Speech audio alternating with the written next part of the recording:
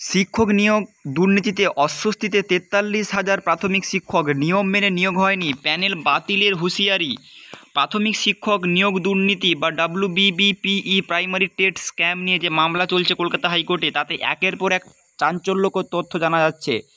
আদালতের নির্দেশে কেন্দ্রীয় তদন্তকারী সংস্থা সিবিআই শিক্ষক নিয়োগ দুর্নীতিকাণ্ডের তদন্ত করছে। একাধিক মামলা হয়েছে কলকাতা হাইকোর্টে। কখনো সিবিআইয়ের তদন্তে অসন্তোষ প্রকাশ করেছেন বিচারপতি, আবার তারপরে সিবিআইকেই গুরুত্বপূর্ণ কোনো তদন্তের ভার দেওয়া হয়েছে।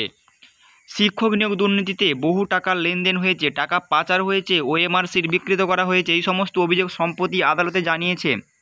এখনও পর্যন্ত অনেকেই এই ঘটনায় অভিযুক্ত। যারা বাইরে রয়েছে, তাদের ক্ষেত্রে সিবিআইয়ের ভূমিকা কী গ্রহণ করছে, সিবিআইয়ের তদন্ত প্রক্রিয়া নিয়ে একের পর এক প্রশ্ন তুলছে আদালত। এবার যে নতুন তথ্য সামনে এসছে, তাতে রীতিমতো অবাক হওয়ার মতো ঘটনা। দু হাজার ষোলো সালে শিক্ষক নিয়োগ প্রক্রিয়ার অ্যাপটিটিউড টেস্ট নেওয়া হয়নি।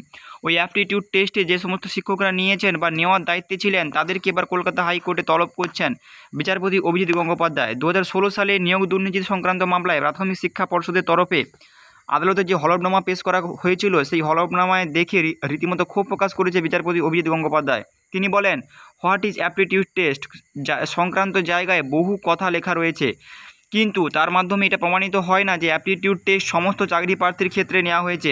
ইন্টারভিউ আর অ্যাপটিটিউড টেস্ট এক করে দেওয়া হয়েছে, অথচ ইন্টারভিউ এবং অ্যাপটিটিউড টেস্টের জন্য আলাদা নম্বর ধার্য রয়েছে।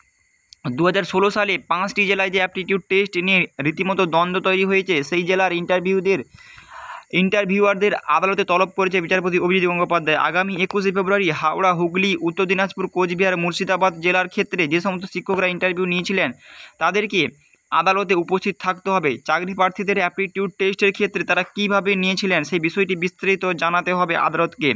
যদিও শিক্ষকদের যাতায়াতের খরচ পর্ষদকে দেওয়ার নির্দেশ দেওয়া হয়েছে।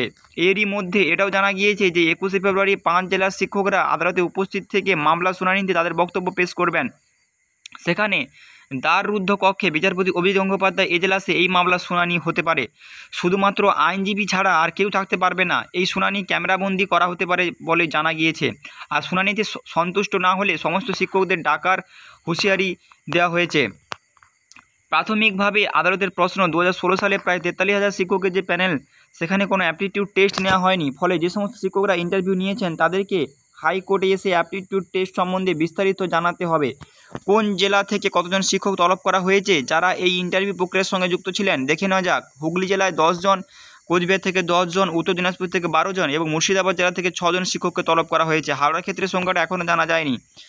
আদালতের তরফে পর্ষদকে জানানো হয়েছে দূর জেলা যে সমস্ত শিক্ষকরা আসবেন, তাদের আসা যাওয়ার খরচ হিসাবে দু হাজার টাকা এবং কাছাকাছি জেলার শিক্ষকরা আসছে, তাদের পাঁচশো টাকা করে দিতে হবে। দু হাজার ষোলো সালে নিয়োগ দুর্নীতি সংক্রান্ত মামলায় এইবার এই অ্যাপটিটিউড টেস্ট নিয়ে প্রশ্ন ওঠায় তেতাল্লিশ হাজার শিক্ষকের চাকরি নিয়ে প্রশ্নচিহ্ন তৈরি হয়ে গেল। আগামী একাশে ফেব্রুয়ারি আদালতে শুনানিতে কী হয়, এখন সেই দিকে কিন্তু নজর সকলের।